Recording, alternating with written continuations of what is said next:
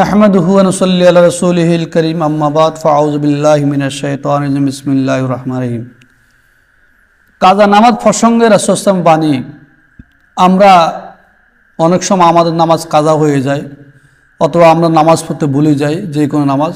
তো এখন কাজা নামাজ আমরা কীভাবে পড়ব? ওই কাজা নামাজ প্রসঙ্গে রাসুলামের বাণী। রাসুল্লাহ আসলাম বলেন, যদি কেউ নামাজ পড়তে ভুলে যায় অথবা ঘুমিয়ে ঘুমিয়ে থাকার ফলে নামাজের রক্ত চলে যায়, তাহলে সে যখনই তার নামাজের কথা মনে পড়বে কিংবা ঘুম ভাঙবে, তখনই সেই নামাজ পড়ে নিবে। তখনই সে নামাজ পড়ে নিবে। বুখারি, মুসলিম, মেশকাত।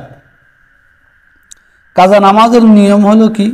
নিয়ত নাওয়াই তুয়ান আকুদুলিল্লাহ তাল রাকাতায় সলাতিল ফজল ফায়তা ফরদুল্লাহ তালা মোতাওয়াজ্জান ইলা জহেতুল কাবাত শরীফতে আল্লাহ আকবর। এগুলো আমরা আরবিতে নিয়ত করলাম। আর আরবিতে যদি আমরা নিয়ত না পারি, নিয়ত না করতে পারি, তাহলে আমরা বাংলা নিয়ত করব। আমি ক্যাবলামুখী হয়ে আল্লাহ তালার জন্য ফজরের দুরাকাত ফরজ নামাজ কাজা আদায়,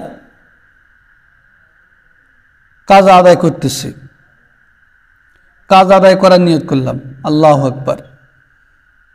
যে উক্ত যে উক্ত নামাজের কাজা আদায় করবে, সেই উক্তের নাম নিবে, সেই উক্তের নিয়ত করবে। তো এইভাবে আমরা কাজা নামাজগুলো আদায় করব।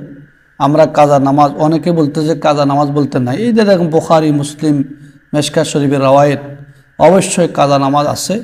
কাজা নামাজ পড়তে হবে। আমরা অনেক সময় নামাজ কাজা হয়ে যায়। আমরা ফজরের নামাজ পড়তে পারি না। হয়তো আসরের নামাজ পড়তে পারি না। অর্থাৎ কোনো কারণে আশা নামাজ পড়ি নাই। এই নামাজটা কাজা হয়ে গেছে।